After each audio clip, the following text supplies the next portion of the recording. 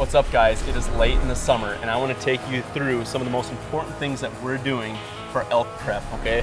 It is late August here and three very important things. This is number one of the three keys you need to be doing for elk prep. Deadlifting. Absolutely. Full body motion, so much of the body and mind is engaged in this lift. And, and when you're preparing for a hunt, it's not always physical, it's mental as well. So co-host Austin Kilgard is gonna be walking you through what I'm thinking about and what I'm focusing on when I'm deadlifting. Let's hit it. Let's do it. We've already we've already done our big big reps today. And so this is this is our cool down. Just a few reps to work on our range of motion. And Austin's gonna be talking through it. Here we go. All right, so get set up here. You're gonna wanna keep the bar nice and close to you. Okay. Get your grip.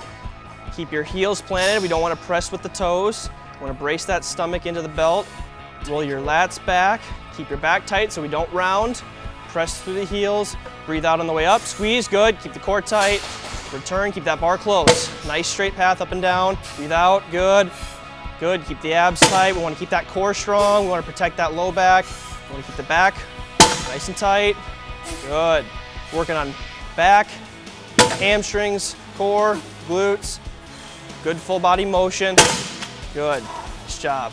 Nice form. So as you can as you heard Austin say, I am all the way up to that bar. That bar is on my shins. I am sat back in my heels. So my glutes, my hamstrings, and my lats are activated. Once those are activated, I am pushing my core as tight as I can. With or without a belt, I am tightening my core as tight as I can and driving heels to the floor, pulling hips forward.